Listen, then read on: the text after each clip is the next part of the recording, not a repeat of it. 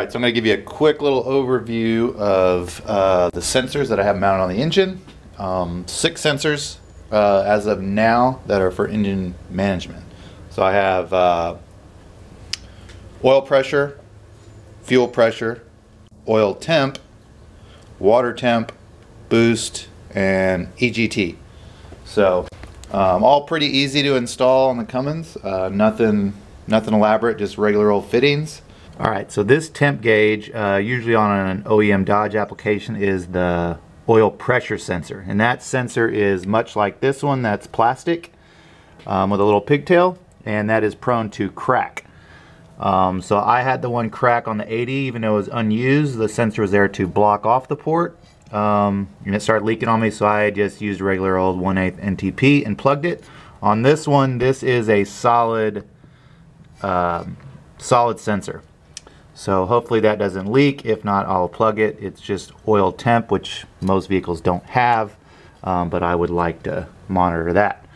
Um, then let's see, so I have and then we'll move up to this is fuel pressure um, the only addition is is this little snubber here I just had to take out this 12 millimeter banjo bolt install the snubber and then the fuel pressure sensor goes right on top this is a Torx brand snubber um, and then also I have this is the boost sensor uh, right on top of the intake and then I've this one came with a pigtail, this one had a pigtail.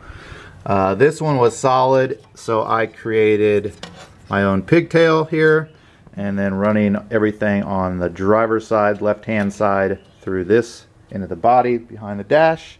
And then we move over to the right side. I have oil pressure right on here. That's just went right in. Uh, on the 80, which is right here.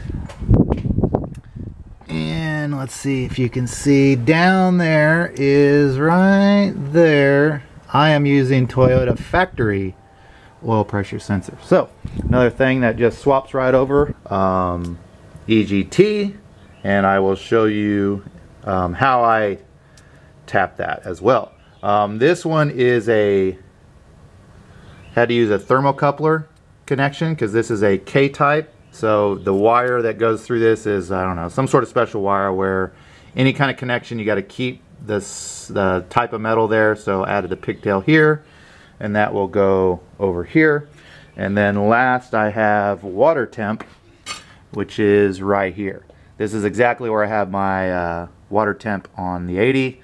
Uh, only thing I don't like here is I actually, if you see, I had to, this is a three quarter inch to I believe quarter inch MPT and then eighth inch MPT. So what I need to do is find a quarter inch to one eighth so then I could take out that middle fitting. But uh, that would work anyway if I needed to. Alright, so I am about to uh, drill and tap for the EGT probe on the exhaust manifold.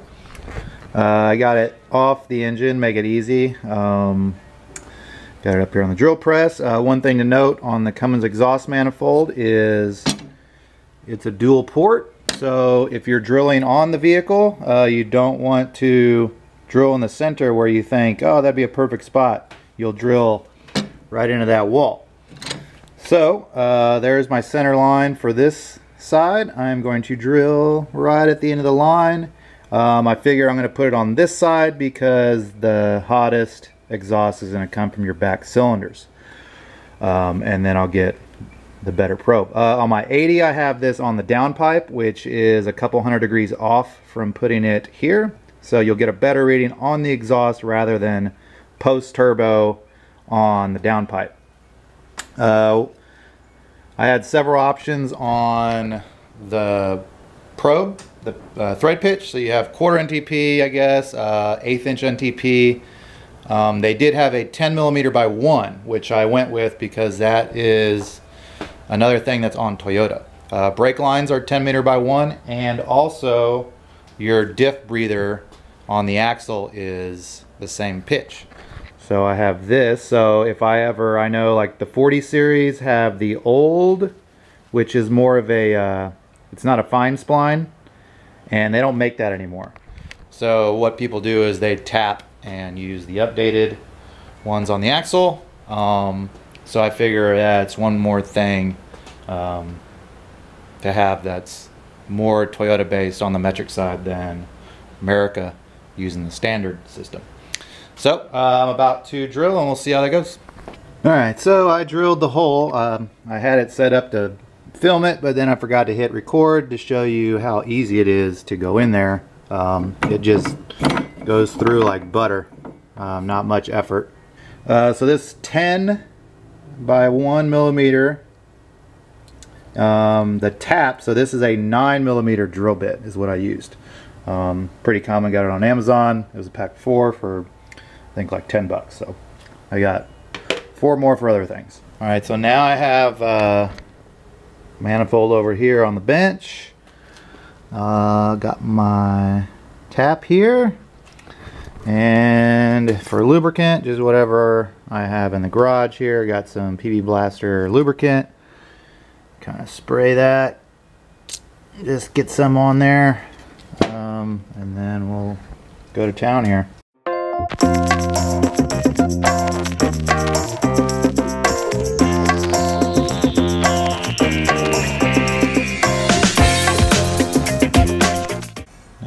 There she goes.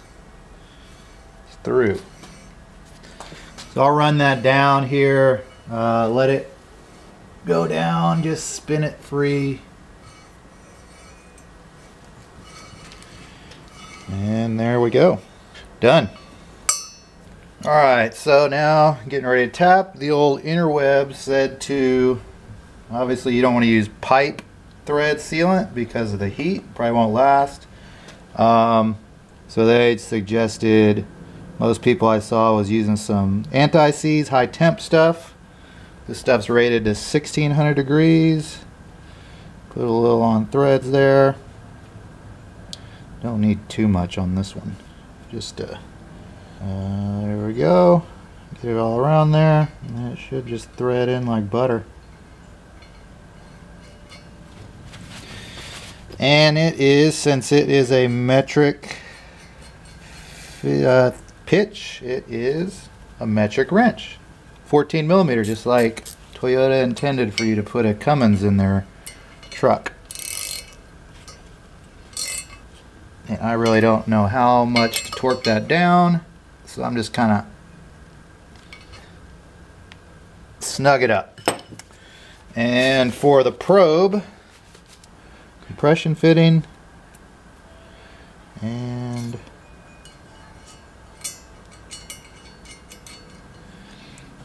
and we'll see how far we want that down.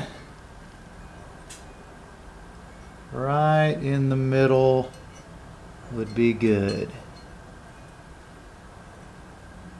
And Alright, so just in case I put this on the vehicle and need to take it off and know my depth, I am going to mark that right now and measure the depth on that. Uh, right now I have it right in the middle. See if you can see here. You can see the probe. It's not focusing very well, but you get the gist of that. All right, so uh, you saw engine sensors. Now we'll go over and just do a quick peek at what I'm gonna do for the gauge cluster. Uh, I'm going to do a separate video just on the gauge clusters because it's going to be pretty in-depth.